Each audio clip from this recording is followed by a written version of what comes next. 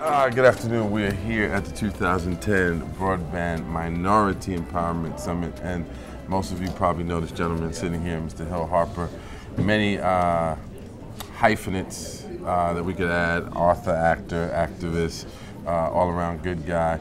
Um, two questions I'm asking people today. Mm-hmm. Uh, one is, what uh, are you doing on an individual basis to address this issue of this digital divide?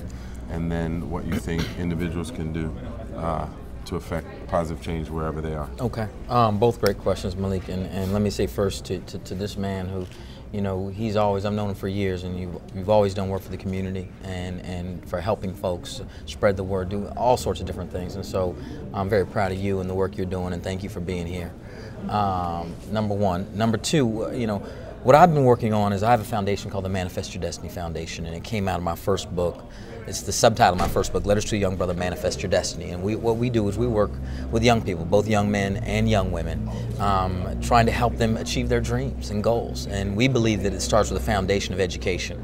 Um, and digital empowerment is, is a cornerstone to that because the way the future is moving, um, this whole summit is about this. It's about the fact that we have a choice. We can either use um, technology to level the playing field because you know, I went to Harvard Law School. These young brothers and sisters have free access to a larger library at their fingertips through technology than I had going to the Harvard Law Library. Can you say that again? Please? So, say so, that slowly. Okay. That's that one piece, because there are people that are going to watch this that don't really understand okay. how deep so, that is. So, so, so, so, basically, understand that technology could be used and should be used if we think proactively in how to actually get it out there to lower the uh, to, to, to, to even out the playing field. I went to Harvard Law School and there's a it's considered the best law library in the world.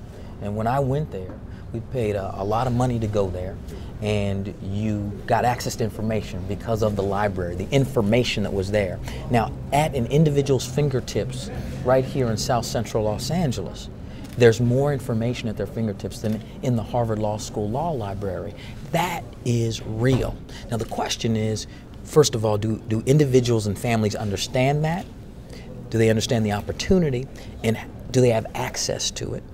and how can we deal with those issues? And so um, I want to figure out ways, and my foundation, the Manifest Destiny Foundation, wants to figure out ways to help people live their best life. How do they do that? With information. You need to build it on a foundation of information, and technology allows that. And so, um, digital empowerment is, a, like I said, a cornerstone to that foundation, in my opinion. I love it because I think a lot of times people, on an individual basis, see someone like yourself say, "Well, you know, you've gone to Harvard, you you know, you've had a career as as an actor and now as an author." Um, you have more opportunity, more access, but you didn't start here. No. You started as an individual. I went to public school here in California, and there are no excuses anymore. And that's technology. Where we are now, folks used to say, well, you know, his family could afford to get him an encyclopedia set. I, I don't have an encyclopedia, so I can't. Or his family could afford to do this. Listen, now there are no more excuses. We have access to the information, it's there.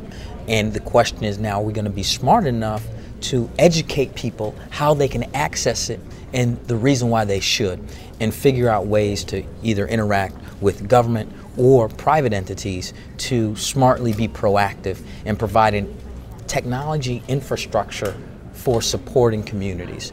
Um, we really could, th th this is truly a civil rights issue and an equality issue as we move forward. Mm, mm, mm.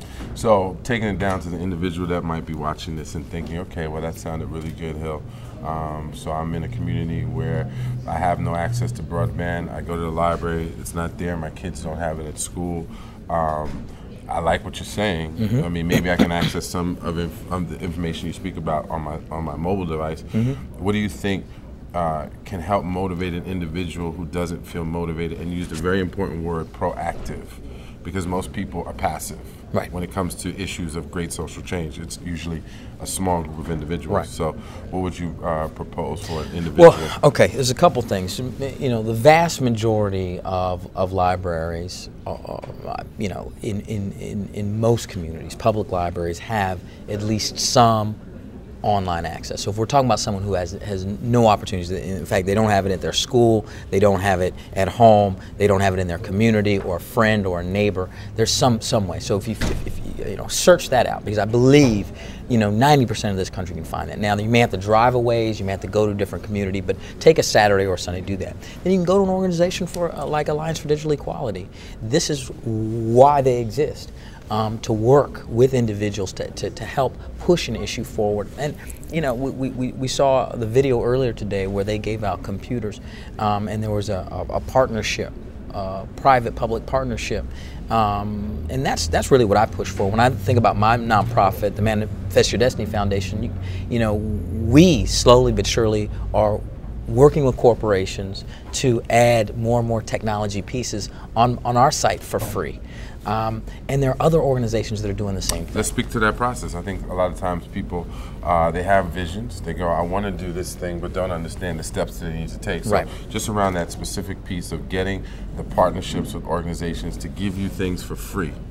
Right. How, what's that process like? Well, listen, there are tons of, of nonprofits across this country that, that deal with, the, with the, uh, the whole, their whole idea is access and the whole idea is help. So the question is, is really doing the work and research in your individual community to find out who's doing what and where.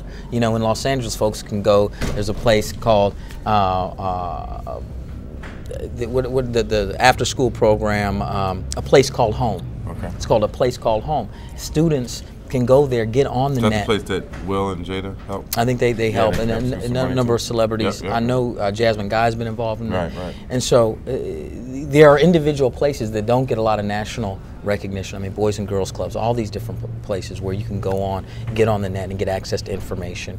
And but, but it's about thinking entrepreneurially and about thinking um, that the barriers are decreasing.